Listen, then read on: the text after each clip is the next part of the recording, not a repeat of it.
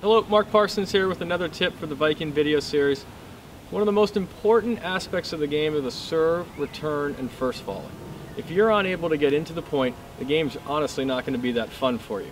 I'm going to break down all three shots here in the next three videos. One of the most requested lessons I get is on the serve.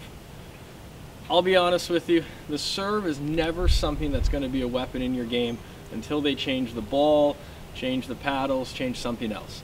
For now, I want you guys to focus on getting your serve in the court.